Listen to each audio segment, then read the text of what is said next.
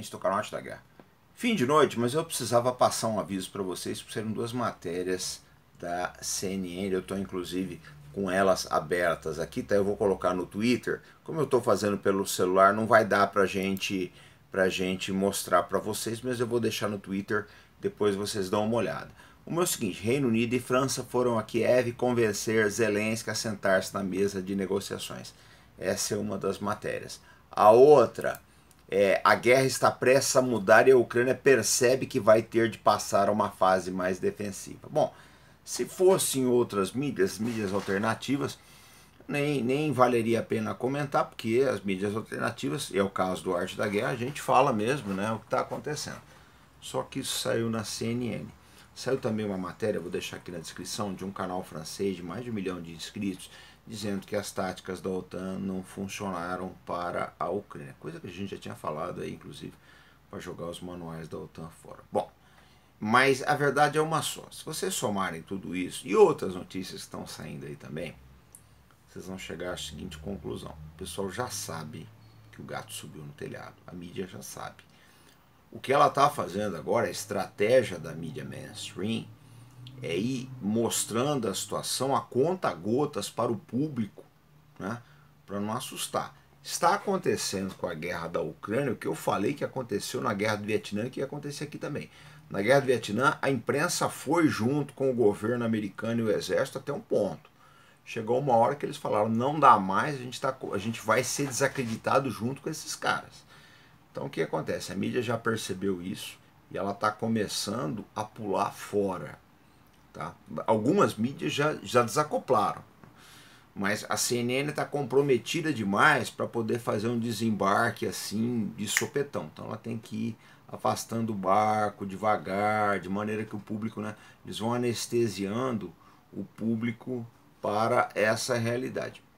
Agora, por que tudo isso? Porque a gente tem que lembrar uma coisa: vem um cenário sombrio aí. Primeiro, o, próprio problema orçamentário dos Estados Unidos, né? Continua aquela novela. Eu acho que vai acabar se resolvendo, mas pode ser que sobre para o Zelensky, porque pode haver uma negociação ali, né? E os republicanos, por exemplo, estão querendo colocar um teto na, na ajuda eh, para para a Ucrânia. Sabe-se Deus se eles conseguirem colocar que teto que vai ser esse aí. Teto que eu digo é uma limitação do dinheiro a ser enviado para lá. Mas aconteça o que acontecer, a gente sabe que tem eleições no ano que vem. O assunto Ucrânia vai vir à baila. Por quê?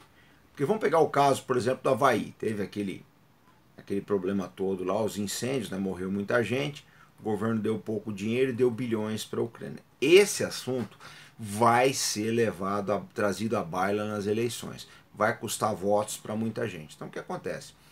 É, se uh, os políticos perceberem que a Ucrânia né, é um caso indesejável, vão se livrar dela, porque vale tudo pela reeleição nos Estados Unidos. O Biden sabe disso. Ele está bastante senil aí, mas até ele consegue perceber uma coisa dessa. Se ele não perceber, os assessores vão acabar por fazê-lo.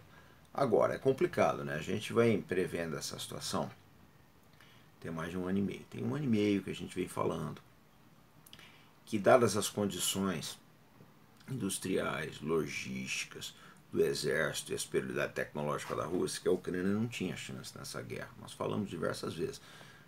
Pode, a gente não consegue acertar quando isso vai acabar, mas com certeza vai acabar muito mal para a Ucrânia, já é um país com dezenas de milhares de mutilados, centenas de milhares de mortos, ninguém sabe quantos são os mortos ucranianos.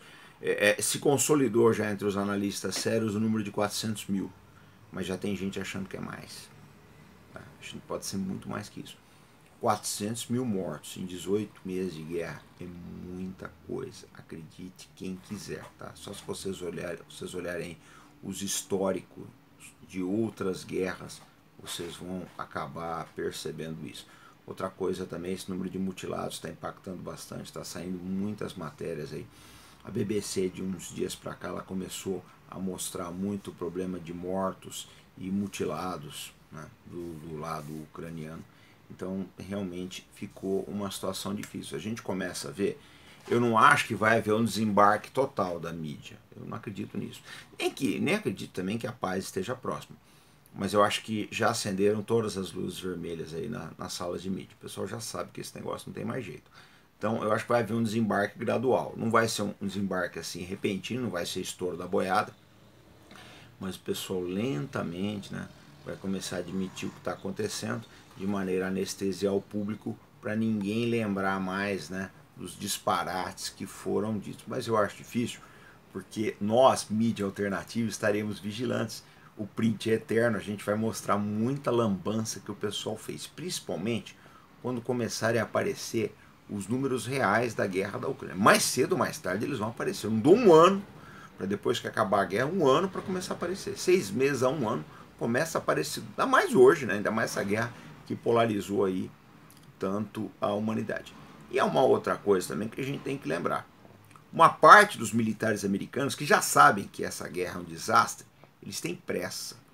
Por quê? Eles sabem que todo o dinheiro que está sendo gasto na Ucrânia vai fazer falta no Indo-Pacífico que é onde realmente importa, é enfrentar a China.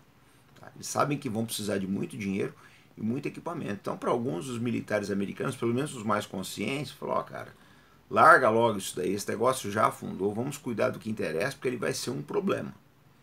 Tá? Essa, aqui é, essa aqui é a realidade. Quem é pragmático, quem conhece as coisas, quem tem os dois pés no chão, já começou a ver isso. Precisa ver se vai convencer os políticos. Essa aqui é a realidade. A gente vê que uma série de políticos aí continua com essa ideia imbecil de achar que vai dar tudo certo, que, que a Ucrânia vai ganhar a guerra, mas eu acho que mesmo essa gente internamente já começou a perceber como a situação está se encaminhando. Né? Começa a faltar dinheiro para tudo quanto é lado. Mas tem um agravante nisso tudo. Quando essa guerra começou, o dólar tinha grande credibilidade e valia muito, era aceito por todo mundo. À medida que essa guerra né, foi entrando, aí, principalmente por causa do sequestro de, de, de, ativos da Rússia por parte do Biden, que foi a maior besteira que ele fez. A guerra não foi uma besteira tão grande perto disso. Essa, na minha opinião, foi a maior besteira, porque mostrou para outros países que o governo americano não era confiável. Então, o que acontece? Daqui para frente vai ser muito difícil os Estados Unidos se autofinanciarem. Tá? O dólar vai entrar numa crise, isso é inevitável é inevitável, já, já pipoca aqui e ali, né, um zoom zoom aí, do que o pessoal começa a trocar aí o dólar por outras moedas de negociação. Fora o fato que os problemas internos dos Estados Unidos também estão roubando muito a credibilidade. Então, se a gente olhar bem, o país que mais contribuiu para desacreditar os Estados Unidos foram eles mesmos, né? com políticos, como Joe Biden, o desastre inevitável. É como disse né, o Obama aquela vez na, na matéria da Business Insider.